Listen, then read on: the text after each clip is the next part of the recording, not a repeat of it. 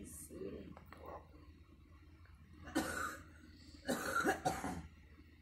oh, yeah, it's up. Babe.